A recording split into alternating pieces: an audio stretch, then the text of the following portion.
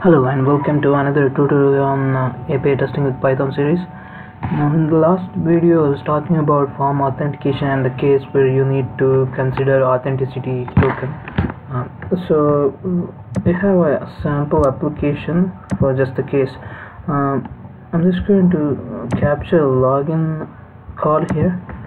I'm going to say test 1, test 2. This is a demo open source application Orange HRM. So if we just click on login and capture the login backend call, we can see that just a second. Okay, this is a post method, and there are a bunch of parameters here in the form data, action ID and other stuff. Uh, this is the username and this is the pa password. Uh, but this particular parameter here, CSRF token, that is gener uh, dynamically generated every time you visit this site. So uh, you will need to mm, grab this id this token first then uh, uh, you can make a post request to successfully log into the application um, by backend. So let's see how we can do this. Mm, first of all you to get this token there are two ways you can do this. One is by using some HTML parser. Second is uh, by using regular expression. Uh, for parsing you can make use of uh, beautiful soup. All you have to do is uh, uh, pip install bs4 i think that's the latest version. Uh, if you do this you should be able to import beautiful soup module uh, from bs4 okay. Uh, once you're done let's just start with this. I'm just going to import request. Then I'm just going to import uh, beautiful soup. Import beautiful soup. Okay. Uh, let me go back to the browser this is the home page. Okay. Now I'm going to start a session here. Request dot session is equal to session. This way you don't have to worry about cookies and stuff. Mm. if you use the request directly then you'll have to provide the cookies. Okay now I'm going to say request dot get and do the get request for the page. Now we'll need to get the CSRF token from the DOM. Let's see where the okay here is the CSRF token. Now yeah we we need to extract this value attribute. So we can make use of uh, CSS selector within beautiful soup to get the value of this uh, particular web element. So let's see how we can do that. Uh, this is the response. Uh, okay now we can create object of beautiful soup. You can say resp dot text. Then here lxml soup equal to this. Now now what we can do is soup dot select and here we can provide the css selector.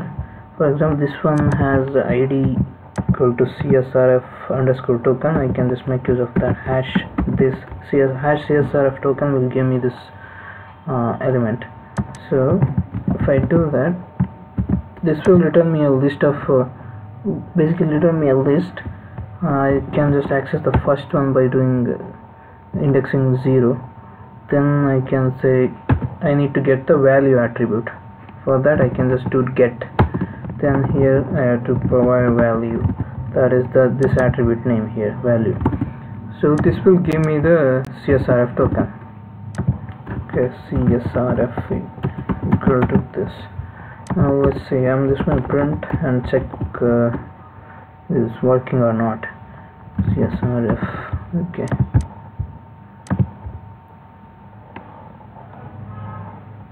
okay so this is uh, working just fine. So another way of doing this is uh, using regular expression. Mm, although it's not preferred usually whenever you can parse the data it's better to go with the parsers. So if you are using regular expression uh, let me just uh, comment these three part three lines. Okay. Then uh, we'll need to write some pattern. Uh, I'm just going to copy this element. Copy element. Uh, say okay. Re you can import regular expression by doing import re re dot compile. Here you can provide the expression. I'm going to pass this. So I'm interested in this value. Here I can just do like dot plus question mark and then this is the pattern. Okay now I need to do re dot search. Here I can provide the pattern. Comma the response that is resp dot t text okay let's uh, see. This is the CSRF okay let me just assign these two results. Now I'll try and print results dot group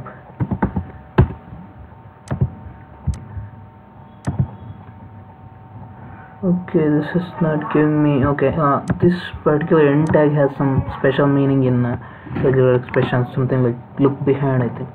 So we can just uh, get rid of that and try again okay it's giving me some value. Let me just change the index here. Let me just try with that. Okay so this is uh, giving me the CSRF token. This is the way you can do it with the regular expression. But it's better to better to go with the beautiful soup in this case. So that's the way you can do that. Now I'm just going to uncomment this part. Okay. Now we, now that we have the CSRF token now we can just try logging in uh, let's say payload login SQL data should be equal to some dictionary. That dictionary is uh, the one we captured here. Okay. Uh, okay you just scroll down and see. Okay it's not here. I'm going to submit the form one more time here they have given some uh, default uh, some test uh, username uh, credentials. You can just make use of that. Just log in. Okay.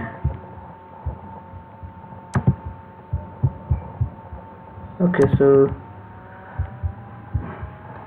this is the payload. Uh, that we need to provide here. Uh, we need to give codes I think I've saved it somewhere you can just make use of this data. So login data. This is the login payload. This particular CS, CSRF token is the generated dynamic dynamically so that is the one extra thing we need to do here. So you, now we can just make uh, post request here. I'll give the URL URL might be a little bit different from the what is screen on the top here. You need to just go with this request URL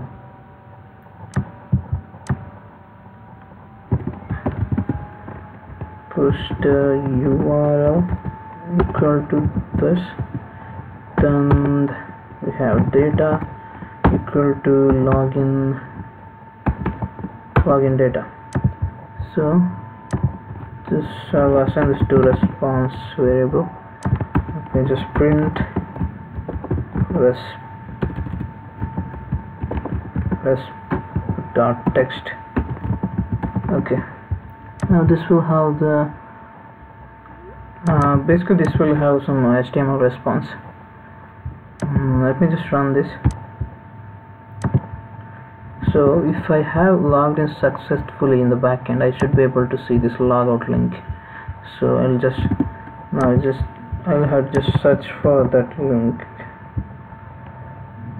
Just do logout search for logout okay now I can see the link in the page uh, source. That means uh, I have logged in successfully. It's working fine. Now let's try without the CS CSRF here. See.